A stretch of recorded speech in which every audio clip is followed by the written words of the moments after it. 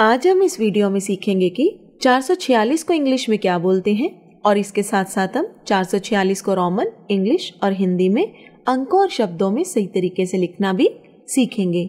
446 को इंग्लिश में हम 446 कहते हैं और इसकी स्पेलिंग होती है F O U R four, H U N D R E D, hundred, A N D and F O R T Y forty, S I X six और रोमन में 446 को C D X L V I लिखा जाता है।